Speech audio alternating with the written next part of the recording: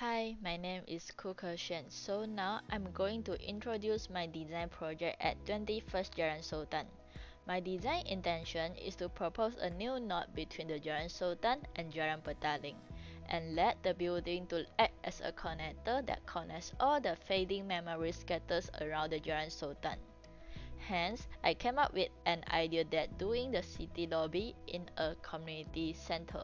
The entrances of the community center are located on the site's both ends, opening and welcoming the site to public from both directions. The car off is located at the secondary entrance to reduce the intersection between vehicle and pedestrian circulation. The multi-function platform is designed in circular form, acting as a node and the focus point in the site to attract the visitor's attention. A link bridge, which can also serve as a viewing platform, is located above the multi-function platform to link and connect the workshop and the community library. The community library is located near the secondary entrance and it is designed to become a more individual block. The intention of doing this is to reduce the interruption of the other activities that happening in the community center, also to create a better reading atmosphere for the occupants inside the community library.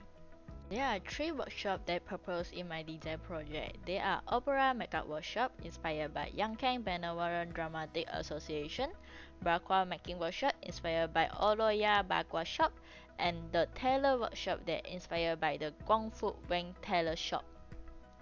The Opera Makeup Workshop is located right beside the main entrance.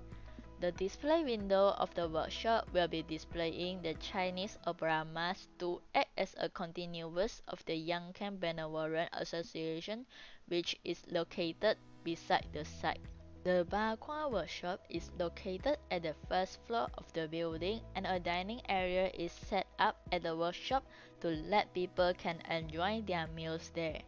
People from the community library can also take a break from the books at the dining area by coming from the linking bridge that above the multi-function platform. The tailor workshop is located at the second floor and is on a higher level than the rooftop garden of community library.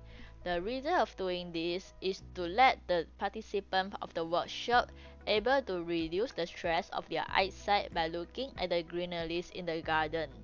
Besides, the tailor workshop is designed into a more enclosed space to protect the equipment from the weather and also to avoid the oily smoke coming from the Bakwa workshop at the level below.